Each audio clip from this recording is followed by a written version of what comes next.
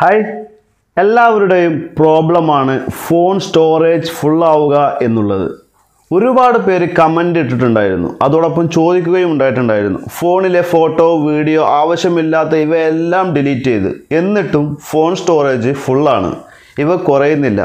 എന്താണ് ഇതിന് പരിഹാരം എന്നെല്ലാം ഒരുപാട് പേര് ചോദിക്കുന്നുണ്ട്. അതിന്റെ അടിസ്ഥാനത്തിലാണ് ഈ ഒരു വീഡിയോ ക്രിയേറ്റ് ചെയ്തിട്ടുള്ളത്. വീഡിയോ മുഴുവനായിട്ടും കാണുക.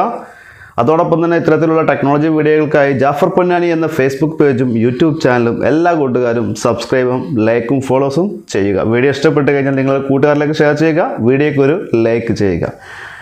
നമ്മൾ ഏതൊരു ആപ്ലിക്കേഷനും ഇൻസ്റ്റാൾ ചെയ്യുമ്പോൾ ആ ആപ്ലിക്കേഷന്റെ ഉപയോഗം കഴിഞ്ഞാൽ നമുക്ക് വേണ്ടാന്ന് വെക്കുമ്പോൾ നമ്മൾ വളരെ സിമ്പിളായിട്ട് അൺസ്റ്റാൾ ചെയ്യും.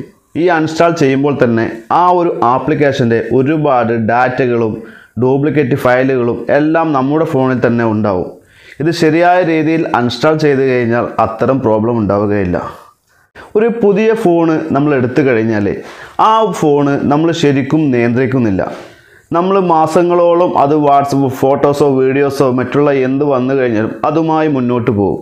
ഓരോ ദിവസവും വരുന്ന ഫോട്ടോസ് വീഡിയോസ് നമുക്ക് ആവശ്യമില്ലാത്തവയാണെങ്കിൽ രാത്രി കിടക്കുന്നതിന് മുമ്പ് അവ ഡിലീറ്റ് ചെയ്താൽ മതിയാവും. ഇത്തരത്തിൽ ഡിലീറ്റ് ചെയ്യുമ്പോൾ തന്നെ നമ്മുടെ ഫോണിൽ ആ ഒരു ഫോട്ടോയുടെ ഡാറ്റയും ആ ഒരു ഫോട്ടോയുടെ ക്യാച്ച് ഫയലും ഒക്കെ അടങ്ങിയിട്ടുണ്ടാവും. അതെല്ലാം ഒരുപാട് കൂടുമ്പോഴാണ് നമ്മുടെ ഫോണിൽ സ്പേസ് ഇല്ലാതാവുന്നത് സ്റ്റോറേജ് ഫുള്ളാവുന്നത് ഞാൻ കൂടുതൽ നീട്ടി വലിച്ചു കൊണ്ടുപോകുന്നില്ല അപ്പോൾ എന്തൊക്കെയാണെന്നുള്ളത് ഒരുപാട് കാര്യങ്ങളുണ്ട്. ആ കാര്യങ്ങൾ മുഴുവൻ പറയുകയാണെങ്കിൽ വീഡിയോ ഒന്നോ രണ്ടോ മണിക്കൂറിലേക്ക് നീങ്ങും.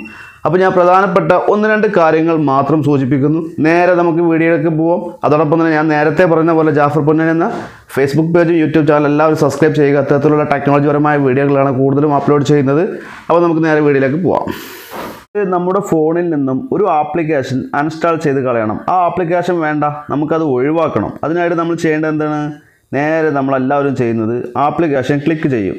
ലോങ് പ്രസ് ചെയ്ത് കഴിഞ്ഞാൽ ആപ്ലിക്കേഷൻ അൺസ്റ്റാൾ എന്ന് ഇവിടെ കാണിക്കും. ഇങ്ങനെ അൺസ്റ്റാൾ ചെയ്ത് കഴിഞ്ഞാൽ ഈ ആപ്ലിക്കേഷൻ മാത്രമേ അവിടെ നിന്ന് പോവുകയുള്ളൂ. എന്നാൽ ഈ ആപ്ലിക്കേഷൻ ഇത്രയും നാൾ നമ്മുടെ ഫോണിൽ നിന്ന് എടുത്തു വെച്ച ഡാറ്റയും ക്യാഷയും എല്ലാം നമ്മുടെ ഫോണിൽ തന്നെ നമുക്ക് കാണാതെ കിടക്കും. അത് കാരണം നമ്മൾ എത്രത്തോളം ആപ്ലിക്കേഷൻ അങ്ങനെ അൺസ്റ്റാൾ ചെയ്തിട്ടുണ്ടോ അതിന്റെ എല്ലാം ക്യാച്ചസുകളും അതിന്റെ എല്ലാം ഫയലുകളും ഡാറ്റകളും എല്ലാം നമ്മുടെ ഫോണിൽ തന്നെ നമുക്ക് കാണാതെ സ്റ്റോറേജ് ആയി കിടക്കുന്നുണ്ടാവും. അത് എങ്ങനെയാണെന്ന് ഞാൻ ഉദാഹരണം കാണിച്ചു തരാം. ഇങ്ങനെയാണ് നമുക്ക് ആപ്ലിക്കേഷൻ ശരിയായ രീതിയിൽ ഒഴിവാക്കേണ്ടത് അല്ലെങ്കിൽ അൺസ്റ്റാൾ ചെയ്യേണ്ടത്. നേരെ നമുക്ക് സെറ്റിങ്സിലേക്ക് പോകാം. സെറ്റിങ്സിൽ പോയി കഴിഞ്ഞാൽ ചിലരുടെ ഫോണിൽ ആപ്പ് മാനേജർ എന്ന് കാണും ചിലരുടെ ഫോണിൽ ഇൻസ്റ്റാൾ ആപ്പ് എന്ന് കാണും. ചില ഫോണുകളിൽ ആപ്സ് എന്ന് കാണിക്കും.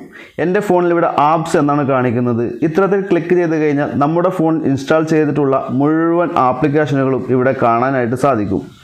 അപ്പോൾ നിങ്ങൾ ചെയ്യേണ്ടത് ഏത് ആപ്ലിക്കേഷനാണോ നമുക്ക് അൺസ്റ്റാൾ ചെയ്യേണ്ടത് ആ ഒരു ആപ്ലിക്കേഷൻ നമുക്കിവിടെ ക്ലിക്ക് ചെയ്യാം. ക്ലിക്ക് ചെയ്ത് കഴിഞ്ഞാൽ നിങ്ങൾക്കിവിടെ കാണാനായിട്ട് സാധിക്കും. ആ ആപ്ലിക്കേഷന്റെ ഒറിജിനൽ സൈസ് എന്ന് പറയുന്നത് നൂറ്റി തൊണ്ണൂറ്റിനാല് എം ബി ആണ് ഇതിന്റെ ഒറിജിനൽ സൈസ് ആപ്പ് സൈസ് വരുന്നത്.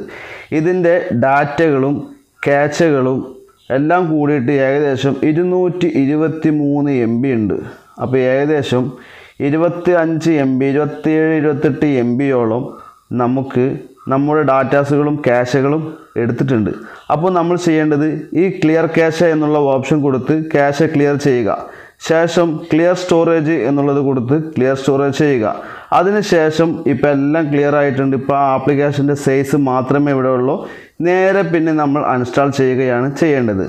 അതോടൊപ്പം തന്നെ നമ്മുടെ ഫോണിൽ ഒരുപാട് ആപ്ലിക്കേഷനുകൾ ഉണ്ടാവും. ഒരുപാട് ആപ്ലിക്കേഷൻ നമ്മുടെ ഫോണിലുണ്ട്. എന്നാൽ ഓരോ ആപ്ലിക്കേഷൻ ഒന്ന് ക്ലിക്ക് ചെയ്യുക. ക്ലിക്ക് ചെയ്ത് കഴിഞ്ഞാൽ വീണ്ടും സ്റ്റോറേജ് ആൻഡ് ക്യാഷ എന്നുള്ള ഭാഗം എടുക്കുക. എടുത്തു കഴിഞ്ഞാൽ ഇവിടെ നിങ്ങൾക്ക് കാണാം ഇരുപത്തിയേഴ് പോയിന്റ് അറുപത്തിയൊന്ന് എം ബി ആറ് ഒന്ന് എം ബി ക്യാഷ് ഉണ്ട്.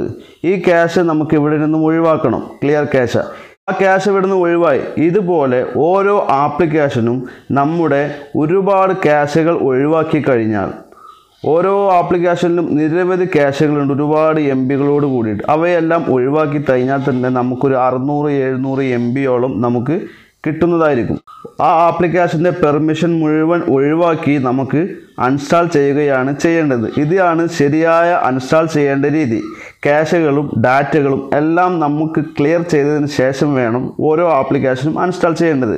ഇത്തരത്തിലാണ് അൺസ്റ്റാൾ ചെയ്യേണ്ടത് ആപ്ലിക്കേഷൻ അതോടൊപ്പം തന്നെ ഓരോ ആപ്ലിക്കേഷനും ക്ലിക്ക് ചെയ്തുകൊണ്ട് അതിന്റെ ക്യാഷ് ക്ലിയർ ചെയ്യുക. നിങ്ങൾക്ക് നോക്കാം ഇപ്പോൾ ഡെയിലി ഹണ്ട് തന്നെ ആപ്ലിക്കേഷൻ എടുത്തിരിക്കുന്നത് ഇരുന്നൂറ്റി തൊണ്ണൂറ്റി എട്ട് എം ബി ആണ് ക്യാഷ് എടുത്തിരിക്കുന്നത്. ആകെ എഴുപത്തിനാല് എം ബി ഉള്ള ഒരു ആപ്ലിക്കേഷനാണ് ടോട്ടൽ മുന്നൂറ്റി എഴുപത് മുന്നൂറ്റി തൊണ്ണൂറ്റിയേഴ് എം ബിയോളം ടോട്ടൽ സ്പേസ് എടുത്തിട്ടുണ്ട്.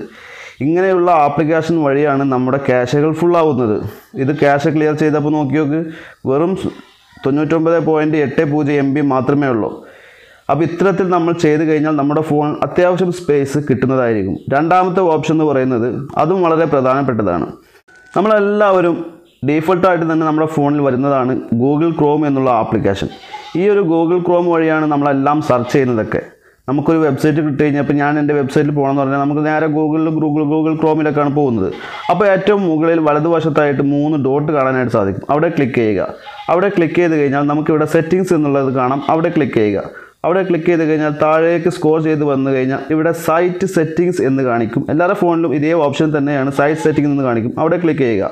അവിടെ ക്ലിക്ക് ചെയ്ത് കഴിഞ്ഞാൽ താഴേക്ക് വരുമ്പോൾ നമുക്കിവിടെ ഡാറ്റ സ്റ്റോർഡ് എന്ന് കാണാൻ സാധിക്കും. അവിടെ ക്ലിക്ക് ചെയ്യുക. ഇവിടെ ക്ലിക്ക് ചെയ്ത് കഴിഞ്ഞാൽ നമ്മൾ ഓരോ സൈറ്റിൽ കയറുമ്പോഴും ആ സൈറ്റുകളെല്ലാം നമ്മുടെ ഡാറ്റകൾ സ്റ്റോർ ചെയ്ത് വെച്ചിട്ടുണ്ടോ അപ്പോൾ നിങ്ങൾക്ക് കാണാം ഞാൻ എന്തോരം സൈറ്റിലാണ് കയറിയിട്ടുള്ളത് അപ്പോൾ നിങ്ങൾ ചെയ്യേണ്ടത് ക്ലിയർ ഡാറ്റ എന്ന് കൊടുത്തു കഴിഞ്ഞാൽ ഇത് നിങ്ങൾക്ക് നോക്കാം. രണ്ട് പോയിന്റ് ഒമ്പത് ജി ബി ആണ് എനിക്കിവിടെ ഫ്രീ ആയിട്ട് കിട്ടുന്നത്. ക്ലിയർ എന്ന് കൊടുത്തു കഴിഞ്ഞാൽ. ഞാനിവിടെ ക്ലിയർ എന്ന് കൊടുക്കുകയാണ്. ഒരുപാട് സമയമെടുക്കും. ചിലപ്പോൾ അപ്പോൾ തന്നെ ആവും.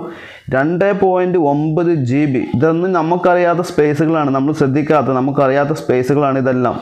ഇത് ക്ലിയർ ചെയ്ത് കഴിഞ്ഞാൽ നമുക്ക് അവ ആ ഒരു സ്പേസ് നമുക്ക് ഇവിടെ ക്ലിയർ ആൾ ഡാറ്റ എന്ന് കൊടുത്തു കഴിഞ്ഞാൽ ഇപ്പോൾ മുഴുവനും പോയിട്ടുണ്ട്. ഡാറ്റ സ്റ്റോറേജ് ഇവിടെ ഇവിടെ കാണാം. മുഴുവൻ ഇവിടുന്ന് പോയിട്ടുണ്ട്. ഇതുപോലെ നമ്മുടെ ഫോണിൽ നമുക്കറിയാത്ത ഒരുപാട് ഫയലുകൾ ഇതുപോലെ ചെയ്യാനായിട്ട് സാധിക്കും. ഈ രണ്ട് കാര്യങ്ങൾ ചെയ്ത് കഴിഞ്ഞതിന് ശേഷം നിങ്ങൾ ഗൂഗിൾ പ്ലേ സ്റ്റോറിൽ പോയിട്ട് നമ്മുടെ ഫോണിൽ പല ഗ്രൂപ്പുകളുമുണ്ട് നമുക്ക് വാട്സപ്പ് ഗ്രൂപ്പുകളും പല ഗ്രൂപ്പുകളും ഉണ്ട്. അത് ഒരു ഒരാൾ അയച്ച മെസ്സേജ് തന്നെ വീണ്ടും വീഡിയോ ആയാലും ഫോട്ടോ ആയാലും മറ്റുള്ള എല്ലാവരും അയക്കുന്നുണ്ടാവും. അപ്പം നിങ്ങൾ ചെയ്യേണ്ടത് ഈ ഒരു ആപ്ലിക്കേഷൻ ജസ്റ്റ് ഒന്ന് ഇൻസ്റ്റാൾ ചെയ്യുക. അതിന്റെ ഉപയോഗം കഴിഞ്ഞാൽ നിങ്ങൾ അൺഇൻസ്റ്റാൾ ചെയ്തോ ചെയ്തോ? നിങ്ങൾ ചെയ്യേണ്ടത് ഡ്യൂപ്ലിക്കേറ്റ് ഫയൽ റിമൂവർ എന്നുള്ള ആപ്ലിക്കേഷൻ ഇവിടെ ഗൂഗിളിൽ സെർച്ച് ചെയ്യുക. ഒരുപാട് ആപ്ലിക്കേഷൻ കാണും.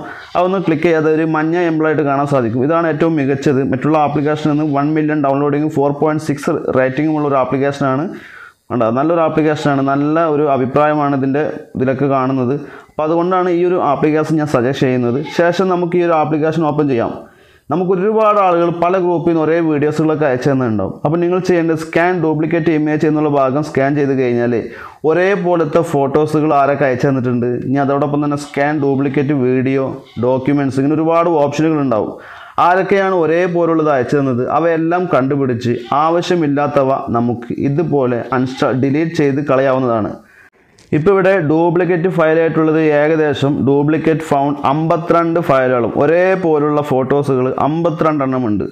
അതിവിടെ നമുക്ക് ഒരേപോലുള്ളത് ഒന്ന് ടിക്ക് മാർക്ക് ചെയ്തിട്ട് ഇവിടെ വന്നിട്ടുണ്ടാവും. നേരെ ഇവിടെ നമുക്ക് കാണാം. ഇത് ഒഴിവാക്കി കഴിഞ്ഞാൽ പത്ത് പോയിന്റ് ഏഴ് ഏഴ് എം ബി ഇവിടെ നമുക്കിവിടെ ക്ലീൻ ആയിട്ട് കിട്ടും.